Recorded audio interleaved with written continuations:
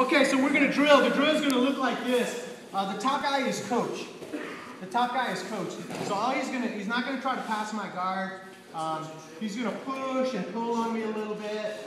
Uh, give me a little bit of pressure, move his feet around, and all I'm trying to do is cycle through and give him some uh, different uh, leg postures and then pressure from those different postures. I haven't talked about how to pressure from the postures yet, but I want you to try to feel it. So uh, what it might look like is this. So I'm working here. He's gonna give me a little bit of pressure. Lock up my bicycle. Lock up this one. Give him some pressure. Right. Lock down.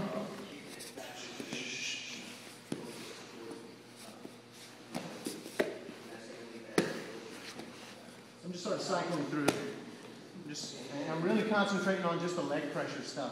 And then I can push and shove and underhook a little bit with my arms. But mostly I'm just wanting you to move around with the legs in an intentional way. So the top guy, oh, you're not trying to pass or anything. You just give him a little bit of movement, energy, and pressure so it feels more like a live roll. Okay? I'll take him switch.